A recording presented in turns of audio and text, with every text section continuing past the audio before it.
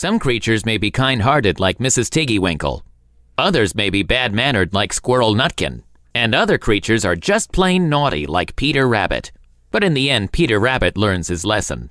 This classic story deals with grief, thievery, and losing one's temper. And as a bonus, a repentance for one's sins. And it's all in The Tale of Two Bad Mice, written and illustrated by Beatrix Potter.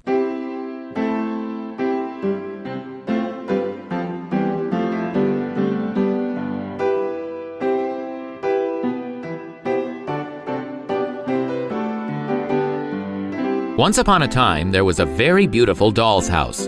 It was red brick with white windows, and it had real muslin curtains and a front door and a chimney. It belonged to two dolls called Lucinda and Jane. At least it belonged to Lucinda, but she never ordered meals. Jane was the cook, but she never did any cooking because the dinner had been bought ready made in a box full of shavings. There were two red lobsters and a ham, a fish, a pudding, and some pears and oranges. They would not come off the plates, but they were extremely beautiful. One morning, Lucinda and Jane had gone out for a drive in the doll's perambulator. There was no one in the nursery, and it was very quiet. Presently, there was a little scuffling, scratching noise in a corner near the fireplace, where there was a hole under the skirting board. Tom Thumb put out his head for a moment and then popped it in again.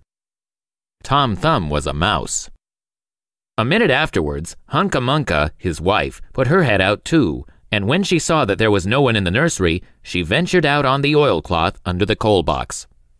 The doll's house stood at the other side of the fireplace. Tom Thumb and Hunca Munca went cautiously across the hearthrug. They pushed the front door. It was not fast. Tom Thumb and Hunca Munca went upstairs and peeped into the dining room. Then they squeaked with joy. Such a lovely dinner was laid out upon the table. There were spoons and lead knives and forks and two dolly chairs. All so convenient. Tom Thumb set to work at once to carve the ham. It was a beautiful shiny yellow streaked with red. The knife crumpled up and hurt him. He put his finger in his mouth. It is not boiled enough. It is hard. You have a try. Hunca Munca stood up in her chair and chopped at the ham with another lead knife. It's as hard as the hams at the cheesemongers, said Hunca Munca. The ham broke off the plate with a jerk and rolled under the table.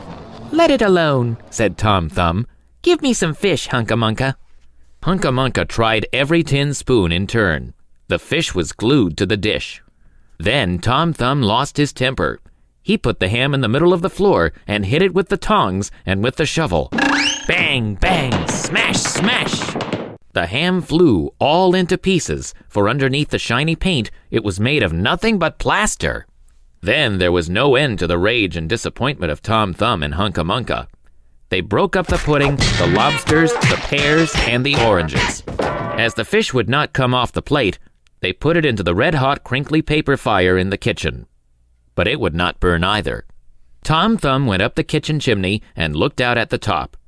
There was no soot. While Tom Thumb was up the chimney, Hunca Munca had another disappointment. She found some tiny canisters upon the dresser labeled rice, coffee, sago.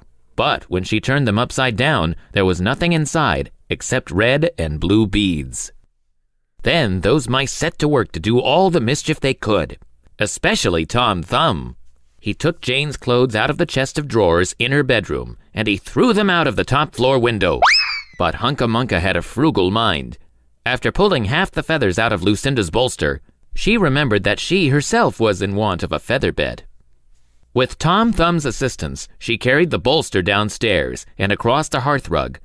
It was difficult to squeeze the bolster into the mouse hole, but they managed it somehow. Then Hunca Munca went back and fetched a chair, a bookcase, a bird cage, and several small odds and ends. The bookcase and the bird cage refused to go into the mouse hole. Hunca Munca left them behind the coal box and went to fetch a cradle.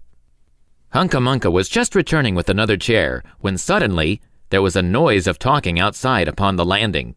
The mice rushed back to their hole and the dolls came into the nursery. What a sight met the eyes of Jane and Lucinda! Lucinda sat upon the upset kitchen stove and stared, and Jane leant against the kitchen dresser and smiled, but neither of them made any remark. The bookcase and the birdcage were rescued from under the coal box, but Hunca Munca has got the cradle and some of Lucinda's clothes. She also has some useful pots and pans and several other things. The little girl that the doll's house belonged to said, I will get a doll dressed like a policeman. but the nurse said, I will set a mousetrap. So that is the story of two bad mice. But they were not so very, very naughty after all. Because Tom Thumb paid for everything he broke. He found a crooked sixpence under the hearthrug, and upon Christmas Eve, he and Hunca Munca stuffed it into one of the stockings of Lucinda and Jane. And very early every morning, before anybody is awake, Hunca Munca comes with her dustpan and her broom to sweep the Dolly's house. I thought this was a pretty funny story full of rebellion, insurrection, and individualism.